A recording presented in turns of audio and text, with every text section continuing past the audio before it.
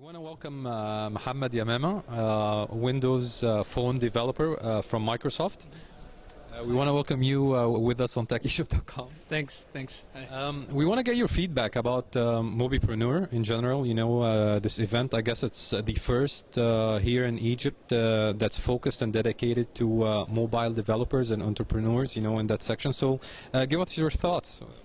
Um, I think it's a it's a it's a good step forward. Uh, uh, mobile phones and uh, are, are really uh, have have been uh, booming in the, in the in the past few years. Everyone is having a mobile phone and a smartphone, whether it's an iPod, uh, it's an it's an iPhone or an Android or a BlackBerry. Uh, and, and Microsoft had its own uh, platform at that time, which is which was Windows Mobile. That was years ago, and then we felt the need to uh, we felt the, the market need something much more advanced. Uh, so that that that drove us to uh, to get something to, to come up with the, the Windows Phone. Uh, Windows Phone 7, uh, it started by Windows Phone 7. It was first launched like 18 months ago or so.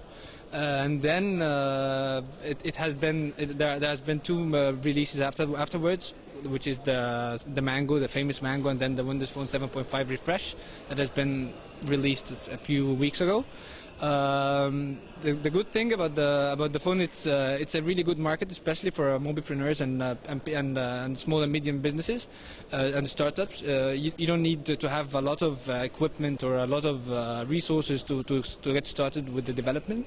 Um, and I think that's that's something that Egypt really needs in terms of the resources and uh, you, you just have to, to, to learn a lot uh, some to have some courses which are all available for free online from the on the on the Microsoft uh, website MSDN uh, create.msdn.com and uh, then uh, having these courses and attending the Microsoft events that are being held all over the year you can just get started and uh, and make and make your own applications and, and publish them in the marketplace and make make make your own money out of that Well, I guess um, so. What do you need to develop uh, applications using uh, Windows uh, Phone platform? Is it just uh, your normal uh, uh, Visual Studio and C Sharp? You know, having background in C Sharp, and that's it. Push a button and it's deployable. Um, yes and no. Um, I think like a lot of uh, a lot of the Egyptian developers they, they know C sharp and, and C sharp has been one of the the easiest uh, the the programming language. Uh, so that that was something that was taken into consideration when for for, for developing into a Windows Phone. So. Um, Yes, you, you need to you have if you if you have uh, if you have a background in C sharp or, or Visual Basic, that would be a huge plus. If you have ever, I mean, it, the the thing about the the phone development is that we maintain the the same uh, dev tools that we have. So uh, Visual uh, Visual Studio, a lot of people know the Visual Studio and are familiar with the interface. So that's that was a great push and something that uh, would ease the, the learning curve. Uh, about the expression blend, that we, we created that for our designers so that they can work uh, in parallel with the developers, so that they they can make their own uh, the, the, the fancy design and the interface of the application, and with the Metro abiding by the Metro the design language. Um, so that's that's for the people who have who have who have .NET experience or C Sharp, C++. I mean C Sharp or Visual Basic.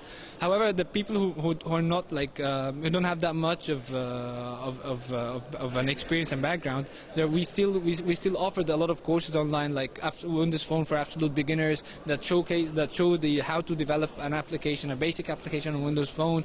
Uh, explaining the platform and, and explaining the tools and how to use the tools and so forth. So we have the, we have all we, ha- we, ha- we target all sort of developers and all the range of developers. Either you are an, an absolute starter, or you are, you have you already have an, an experience and you just need a jump start. So we have th- these videos for you too. We have tools. We have of course the famous MSDN with the with the forums.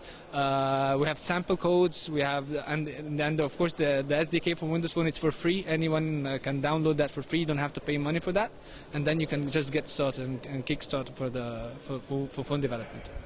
So uh, tell us, uh, as a veteran uh, mobile uh, developer, um, uh, give us some points. What what would you tell um, somebody who's developing an application? What would what would he need to uh, look out for um, to develop? I I guess let's say a robust application that has um, uh, some kind of chance in, in making it big, uh, maybe memory, you know, uh, some memory tips, etc., etc.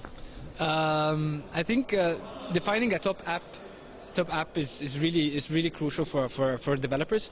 Um, I think we have we have got the skills. Developers have got the skills. Maybe they just have to kind of refine the way of thinking about how, which application would really fit the, with the market. Are they developing an application that that would be globally available and and, uh, and and everyone uh, across the globe can, can buy it, or are they developing an application just for, for a country or for a sp- a specific segment like the Arab world or or, uh, or Europe or, or uh, you know sp- sp- French-speaking countries or so. So I think like for now, I guess uh, one of the things that are, I think we uh, we should be so defining the top app is really important.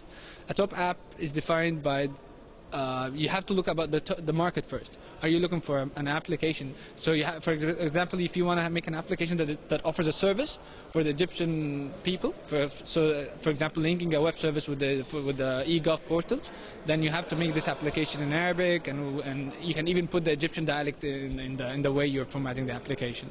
Are you making a, a game? Most probably you will need the, the game to be a global game because a lot of people games are always the most downloaded application on uh, on the on the marketplace. So it's, it's all it's all about defining like what the market needs and then act accordingly. But I think like I have seen a lot of examples of people making amazing ideas, but the thing is there's no market yet for that. So there are great ideas, but the, the key is that there a market or not? Then you have to look at it from the other side, from the market side. Look what the market needs, and then work and react accordingly. Or you can even think like this is going to be what the market may need plus what they have right now. So you can even port application from other platforms like Android and and uh, and iOS. If they, if you think like these applications have been have been a have been a great app, so you can make something similar, some something local.